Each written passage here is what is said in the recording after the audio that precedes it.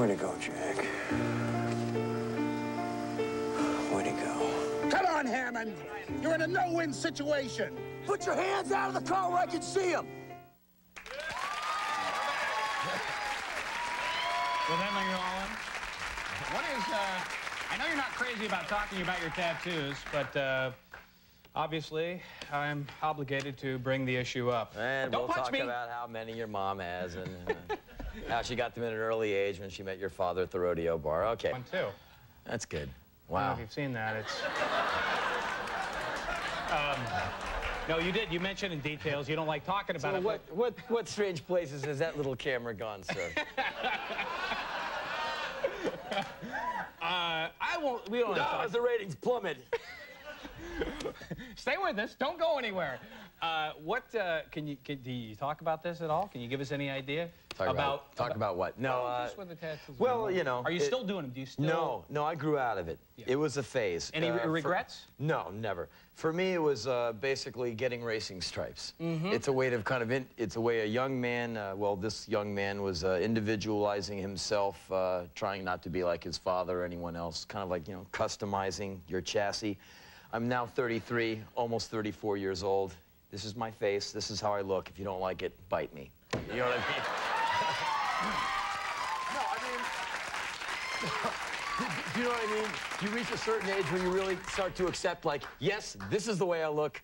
Okay, this is the way my hair falls in the morning. This is my face. No amount of Neutrogena scrub is going to change anything. Learn to love it. But when you're 22, you're like, no, no, I can modify this, you know, sand that down. And after a while, you're like, this is it. this is my thing. And so I kind of gave up on it. Henry, I like you, and I'm not going to bite you either way. So I made both those decisions here. Tell me about uh, that was a scene from the movie with Charlie Sheen, Yeah, Cha- well, The you- you Chase in me say '93. Four words. That was great. Well, no, but did you like doing that? Were yeah, you... it, it was fun. I did the film because uh, the idea of playing a stupid cop was really appealing to me. Is that what you were?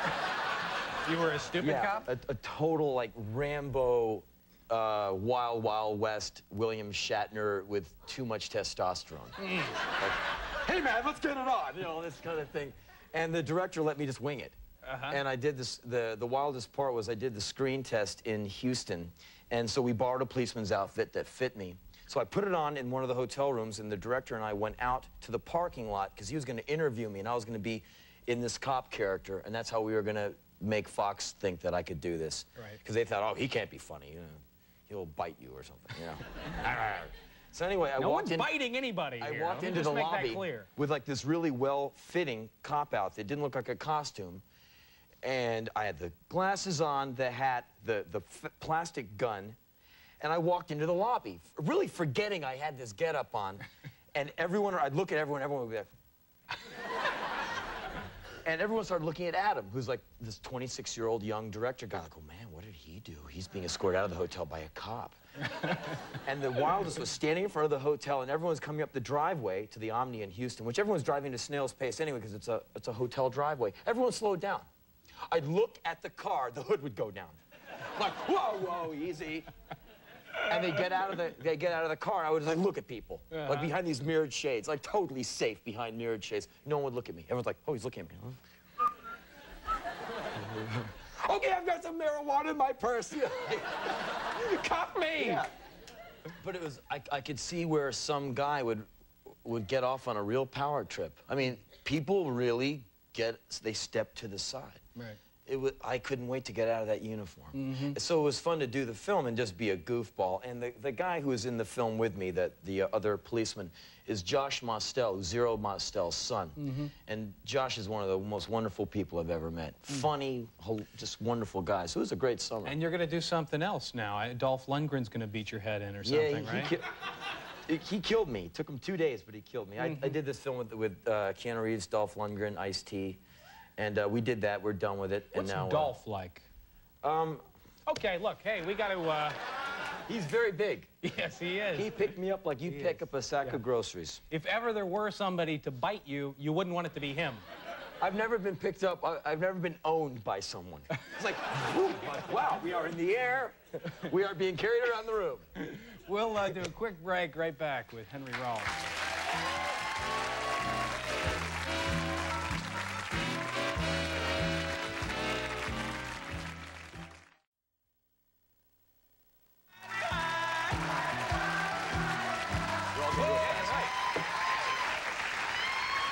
Pointing out here in the break. Very quickly, friends, the music that you heard over the little break, that was the music of Cab Calloway, who was a master musician. He just passed away this weekend. Very sad. So, Hey, this is the book, by the way. I want to show it's uh, Henry Rollins' Get in the Van, and that is the story of uh, many a trying time, yes? sure. This is the uh, later letter written to you by the uh, previous night's guest, which was Pamela Anderson from Baywatch.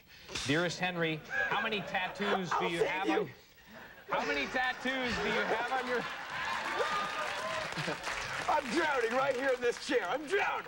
Dearest Henry, how many tattoos do you have in your body that we can't see at the moment? Where and what? Pamela! Pamela you don't have much time Wouldn't here, you my like to know? Woo! Thanks for coming on. Henry Rollins, folks. We'll see you here tomorrow night with Pauly Shore. Have a good evening.